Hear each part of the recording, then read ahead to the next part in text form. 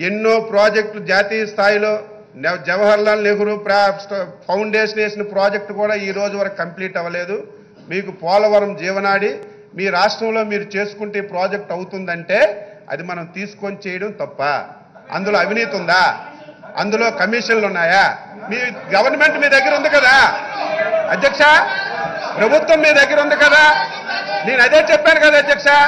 ప్ర- ఓకే మేము కమిషన్ల గురించి మేము కమిషన్ల గురించి ఎక్కువ చేశాం స్పష్టంగా పోలవరం ఎవరైతే స్టార్ట్ చేసి దాన్ని ముందు ఇనిషియేషన్ తీసుకెళ్ళి ముందుకు తీసుకెళ్ళి దివంగత రాజశేఖర రెడ్డి గారి బిడ్డ ఈ రాష్ట్రానికి పోలవరం కంప్లీట్ చేసే ఘనత ఈ ముఖ్యమంత్రి జగన్మోహన్ రెడ్డి గారి హయాంలోనే అవుతుందని మేము తెలియజేస్తున్నాం అధ్యక్ష అదే కాకుండా ఉండన్నా ఐదు సంవత్సరాలు ఒక ప్రాజెక్ట్ కూడా పూర్తి చేయకుండా. మాట్లాడేదే సార్. ఒకటి సార్ ఒకటే చెప్తున్నాడు కాబట్టి. అధ్యక్ష పోలవరంలో వాళ్ళు ఎంత సూపర్గా కడుతున్నారంటే construction chief engineer quality control ఒకటే అధ్యక్ష. దొంగ ఆయనే పోలీసు ఆయనే. ఆ విధంగా అంటే పొద్దున కన్స్ట్రక్షన్ చేస్తాడంట రాత్రి దొంగతనం చేస్తాడంట. ఆ విధమైన అధికారులను పెట్టి పోలవరం నడిపిన ఘన చరిత్ర అధ్యక్ష వాళ్ళది. మాకు ఎలాగైందంటే ధర్మశ్రీ గారు. అదృష్టం కొలది ఇరిగేషన్ మంత్రి వ్యక్తి అదృష్టం కొలది ఇరిగేషన్ మంత్రి అయ్యి మా బాబు గారికి నీతులు చెప్తుంటే కొద్ది బాధ అనిపిస్తుంది అధ్యక్ష.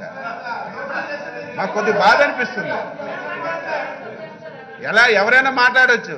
నిన్న లేదు మొన్న ఇరిగేషన్ మంత్రి అయ్యి చంద్రబాబు నాయుడు గారికి ఇరిగేషన్ మీద పాఠాలు చెప్తుంటే నాకు కొద్ది బాధ అనిపిస్తుంది. ప్లీజ్ ప్లీజ్ అన్నా ప్లీజ్ నన్ను నువ్వు మాట్లాడావు అధ్యక్ష ఆయన కొడుకులాగా కనీసం నియోజకవర్గాన్ని కూడా పేరు పెట్టి పిలిచలేకుండా మంగళగిరిని మందలగిరి పిలిచే పప్పుని మాత్రం కాదు అధ్యక్ష. ఇక్కడ నేను డాక్టర్నే అయ్యుండొచ్చు maybe I new to this field but తొందరగా నేర్చుకుంటాం. విల్ గో ఫాస్ట్ నీతులు నలభై సంవత్సరాలు ఇండస్ట్రీ ఇండస్ట్రీ చంద్రబాబు నాయుడు గారు కాదనట్లా మేము. అట్లా అని చెప్పి ఆయన తప్పులు చేస్తా ఉంటే దోచుకొని తింటా అంటుంటే అంటే మేము చెప్పకూడదు యంగ్స్టర్స్ రాకూడదు అన్న విధానంలో అచ్చెన్నాయుడు గారు మాట్లాడుతున్నారు అధ్యక్ష. ఏమీ లేని వ్యక్తికి రైట్ రైట్ రైట్ కనీసం ఎమ్మెల్యేగా గెలవలేని వ్యక్తికి మంత్రి పదవి కట్టబెట్టి ఎమ్మెల్సీ ఇచ్చి. జాబ్ ఇచ్చిన కాదని చెప్పి అధ్యక్ష.